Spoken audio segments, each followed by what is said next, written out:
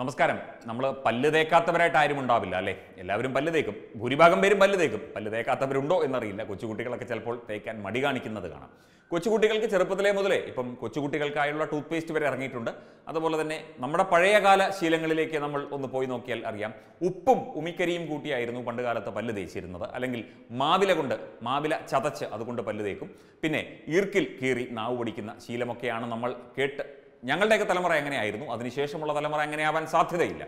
പക്ഷേ ഒരു കാലത്ത് ഈ ഒരു സംഭവങ്ങൾ അതായത് ഉമിക്കരിയും ഉപ്പുമൊക്കെ പിന്നീട് ഇങ്ങോട്ട് വന്നപ്പോൾ പല പേസ്റ്റുകളിലും ഉപ്പുള്ള ടൂത്ത് പേസ്റ്റും ഉമിക്കരിയുള്ള ചാർക്കോളുള്ള ടൂത്ത് പേസ്റ്റും ഒക്കെ പിന്നീട് മാർക്കറ്റിൽ ഇറങ്ങിയതും നമ്മൾ കണ്ടതാണ്.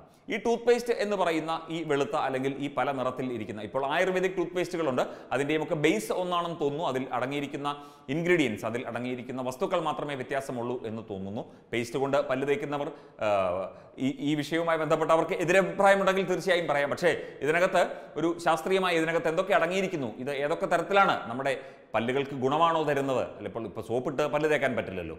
ഉമിക്കരി കിട്ടാനുണ്ടോ എന്ന് ചോദിച്ചാൽ അറിയില്ല. പിന്നെ മാവിലയും കുറവായിരിക്കും. എന്തൊക്കെയായാലും പല്ല് തേച്ചല്ലേ പറ്റൂ. അപ്പോൾ ഈ പേസ്റ്റിൽ എന്തൊക്കെയാണ് ടൂത്ത് പേസ്റ്റ് എന്ന് പറയുന്ന ഈ വസ്തുവിൽ എന്തൊക്കെയാണ് അടങ്ങിയിരിക്കുന്നത്? അത് ഏത് തരത്തിൽ നമ്മുടെ ആരോഗ്യത്തെ ദന്താരോഗ്യത്തെ ബാധിക്കും എന്നുള്ള കാര്യങ്ങൾ വിശദീകരിച്ചുകൊണ്ട് ഒരു സുഹൃത്ത് എഴുതിയ കുറിപ്പാണ് ഇത്. അതായത് ഇതിനകത്ത് പറയുന്നുണ്ട് brush തറലി at least twice a day ദിവസവും രണ്ടു നേരം പല്ല് തേക്കുക ഡോക്ടറുടെ നിർദ്ദേശപ്രകാരം ഉപയോഗിക്കുക. അതുപോലെ ആറു വയസ്സിന് താഴെയുള്ള കുട്ടികൾ പല്ല് തേക്കുമ്പോൾ മാതാപിതാക്കൾ അടുത്ത് ഉണ്ടായിരിക്കണം. അതുപോലെ പേസ്റ്റ് വിഴുങ്ങരുത്. പയറുമണി വലുപ്പത്തിൽ മാത്രം ഈ പേസ്റ്റ് എടുക്കുക എന്നൊക്കെ പേസ്റ്റിന്റെ ആ, പുറത്ത് തന്നെ ഇതെങ്ങനെയാണ് ഡയറക്ഷൻസ് ഫോർ യൂസ് അല്ലെങ്കിൽ അതിന്റെ അതെങ്ങനെ അതിന്റെ ഉപയോഗക്രമം വിശദീകരിച്ചിട്ടുണ്ട്. പിന്നെ ഇതിന്റെ ഇൻഗ്രീഡിയൻസ് ഇതിനകത്ത് എന്തൊക്കെ അടങ്ങിയിരിക്കുന്നു? എന്തൊക്കെ വസ്തുക്കളാണ്? എന്തൊക്കെ വസ്തുക്കൾ കൊണ്ടാണ് ഈ പേസ്റ്റ് ഉണ്ടാക്കിയിരിക്കുന്നത് എന്ന് കൂടി ഒന്ന് നോക്കേണ്ടതുണ്ട്. കാൽഷ്യം കാർബണേറ്റ് അതായത് നമ്മൾ സാധാരണഗതിയിൽ പറയുന്ന കുമ്മായം. പിന്നെ സോഡിയം ലോറി സൾഫേറ്റ് എന്ന് പറയുന്ന ഒരു രാസവസ്തു. ഇത് അൾസർ പോലെയുള്ള മുറിവുകൾക്ക് അല്ലെങ്കിൽ അത്തരത്തിലുള്ള ബുദ്ധിമുട്ടുകൾക്ക് കാരണമാകും എന്ന് പറയപ്പെടുന്നു. പിന്നെ സിലിക്ക മണൽ പാറപ്പൊടി ഈ പാറപ്പൊടിയൊക്കെ പേസ്റ്റിൽ ചേർക്കുന്നത് എന്തിനാണെന്ന് നമുക്കറിയില്ല.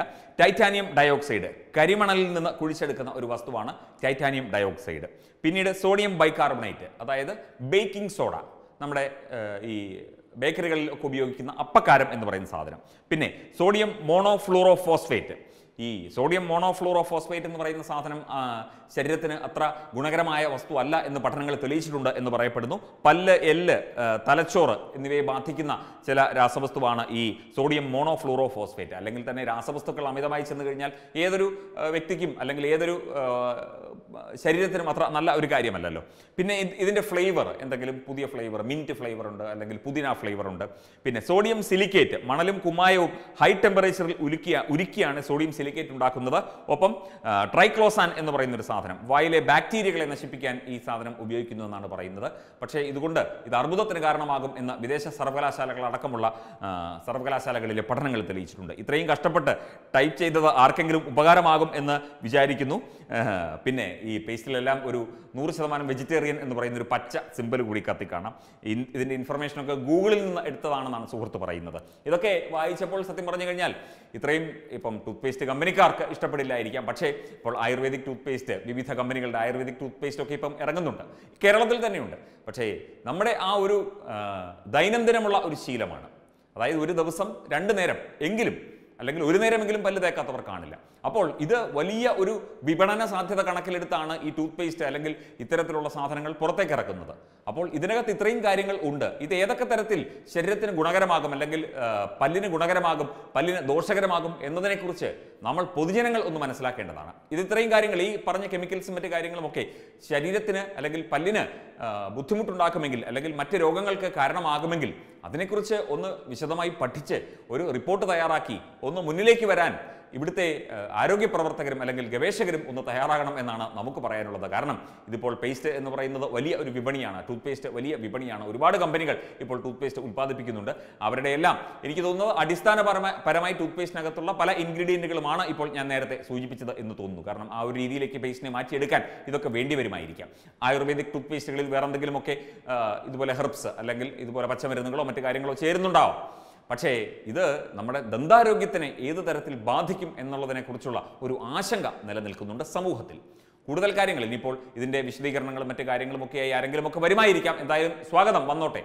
തീർച്ചയായും വരട്ടെ. കാരണം നേരത്തെ ഇതുപോലെ എണ്ണയുമായി ബന്ധപ്പെട്ട് ഞാൻ ഒരു വാർത്ത ചെയ്തതിന് വലിയ ഒരു സ്വീകാര്യത നേടുകയുണ്ടായി. അതും ഇതുപോലെയുള്ള വിവരങ്ങൾ ശേഖരിച്ച ശേഷമാണ് ചെയ്തത്. എന്തൊക്കെയായാലും ശരി നമ്മൾ പല്ല് തേക്കുമ്പോൾ ഈ കാര്യങ്ങൾ ഞാൻ ഈ മേൽപ്പറഞ്ഞ കാര്യങ്ങൾ ഒന്ന് ഓർത്താൽ നല്ലത്. നിങ്ങളുടെ കയ്യിൽ ടൂത്ത് പേസ്റ്റ് ഉണ്ടല്ലോ. നിങ്ങൾ ഒന്ന് വായിച്ചു നോക്കൂ. ഞാൻ ഈ പറഞ്ഞ കാര്യങ്ങളൊക്കെ തന്നെ അല്ലേ അതിൽ ഉള്ളതെന്ന്. എന്റെ വീട്ടിൽ ഉള്ള ടൂത്ത് പേസ്റ്റിൽ ഇതൊക്കെ തന്നെയാണ് പറഞ്ഞിരിക്കുന്നത്. അതുകൊണ്ടാണ് നിങ്ങളോട് പറഞ്ഞത്. നിങ്ങൾക്കിത് നോക്കാം. എന്നിട്ട് പല്ല് തേക്കുന്നതിനെ കുറിച്ച് ആലോചിക്കാം. എന്തായാലും ഉമിക്കരിയും ഉപ്പും ചേർന്നതും മാവിലയും ഒക്കെ തന്നെയാണ് നല്ലത് എന്നാണ് പഴമക്കാർ പറയുന്നത് പറഞ്ഞത്. ഇപ്പോഴും അത് തന്നെയാണ് നല്ലത് എന്ന് തോന്നുന്നു. അതായിരിക്കും നല്ലത്. വെബ് ഡെസ്ക് തത്തുമൈ ന്യൂസ്.